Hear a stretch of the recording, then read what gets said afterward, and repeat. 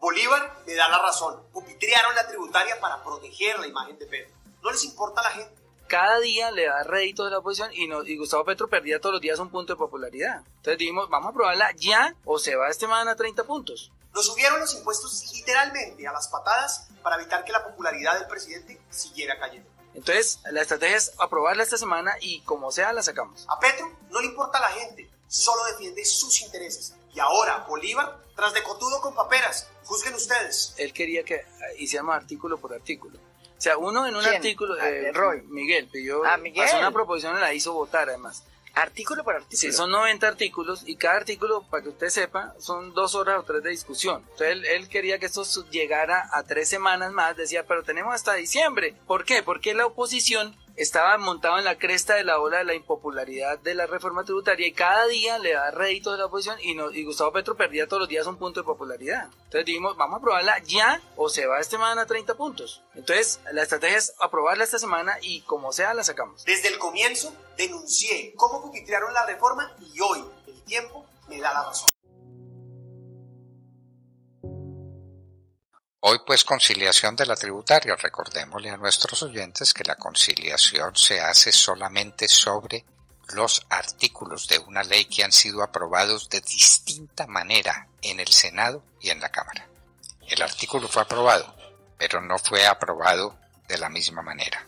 Y entonces se concilia para saber si finalmente queda vigente el artículo del Senado o el artículo de la Cámara. Eso es lo que va a pasar con la reforma tributaria.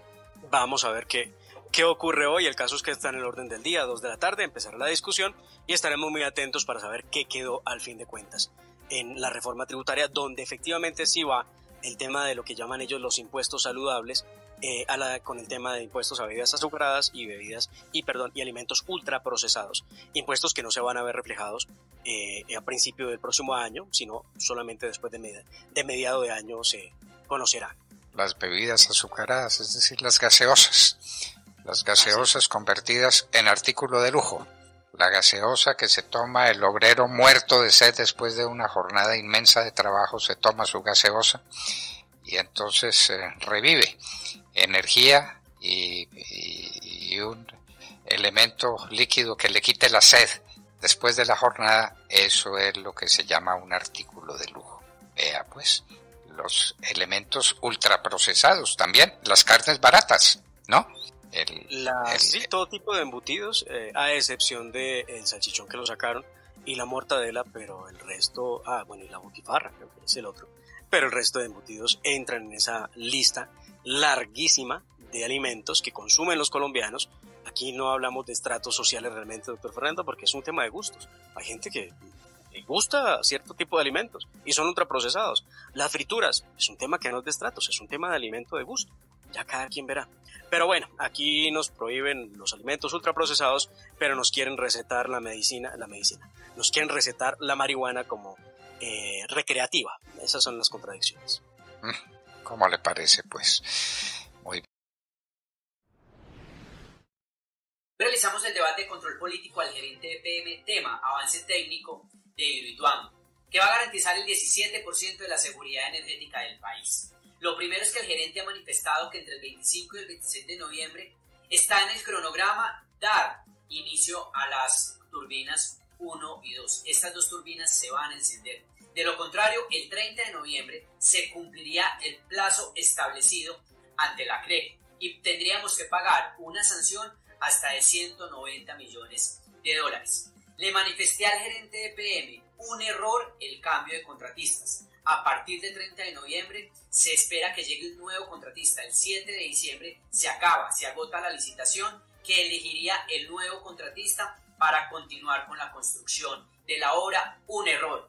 Y además creo que solicitar la ampliación del término ante la CREC para no caer en incumplimientos es oportuno, tanto como lo hizo el gobierno departamental como lo hace el gerente. Sin duda, el alcalde de Medellín ha sido irresponsable en las diferentes declaraciones que ha dado medios de comunicación, como el tema de la baja calidad en los materiales señalando a los contratistas, cuando hoy el, el gerente de PM dice que a las turbinas 1 y 2 en las obras civiles no les falta ni un tornillo.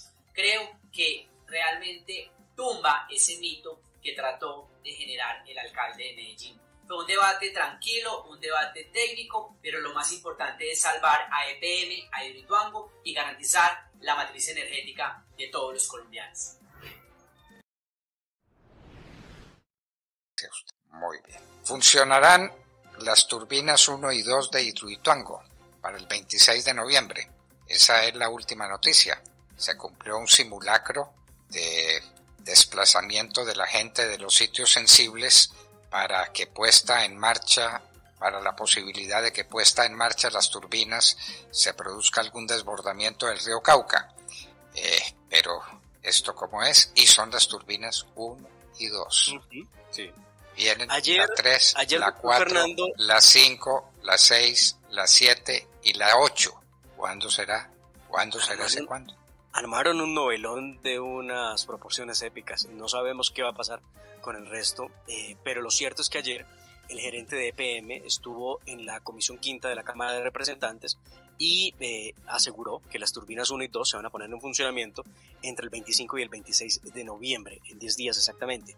De esta manera se puede cumplir con los plazos y evitarían la sanción que pudiera imponer la CREC por incumplimiento por más de 190 millones de dólares. Sin embargo, eh, en el debate, Juan Espinal, representante de la Cámara por el Departamento de Antioquia Centro Democrático, insistió en que es necesario continuar con los trabajos de la obra porque a partir del 31 de noviembre se da el cambio de contratistas, lo que 30, 30, noviembre no tiene sino 30 días de mar. Perdón, sí señor, sí señor. Eh, puede afectar la obra en caso de que haya cambio de contratistas. Importante la, la precisión que hace. Eh, se decidió crear una comisión de seguimiento y de acercamiento por parte de la de la misma Comisión Quinta, una subcomisión que estará pendiente del asunto para que se cumpla con los plazos de la CREC y el país pueda ver eh, el beneficio en la nueva generación de energía que propondrá, que, le tendrá que dar al país la hidroeléctrica Hidroituango. 17% de la energía instalada la entregará Hidroituango. Demar, ¿por qué no se habla de la caverna donde van a estar las turbinas 5, 6, 7 y 8? Nadie volvió a decir una sola palabra sobre ese tema y parece que allá no ha llegado nadie a esa caverna. ¿Cuánto tiempo va a tomar que la tengan lista y dispuesta para recibir las turbinas 5, 6, 7 y 8? No, no se dice nada. No. Bueno, no se dice nada. Eh, y se habla de la turbina 1 y 2 y la van las van a poner a funcionar y sale el alcalde de Medellín y el gerente de las empresas públicas de Medellín. No, magnífico que pongan en funcionamiento dos turbinas. Eso es la cuarta parte del proyecto. El proyecto es de ocho turbinas de las mismas dimensiones y la caverna para las 5, 6, 7 y 8 no ha sido colonizada, para llamarlo de algún modo, no ha sido revisada, no ha sido adecuada después de la inundación que padeció. ¿Estoy correcto con ese decir? Pues no se ha dicho nada, es la verdad. No se ha dicho nada. La noticia por ahora y todo el mundo habla de la 1 de la uno y la 2 pero del resto no se dice nada y menos del acceso a la caverna. Recuerde usted que desde el gobierno han solicitado una visita especial, una inspección especial a todo el sistema. Seguramente tendremos noticia del Estado en, breve, en un par de semanas o en una semana, sin mucho, porque recuerde pues que esto está programado para el 25 o 26 de noviembre.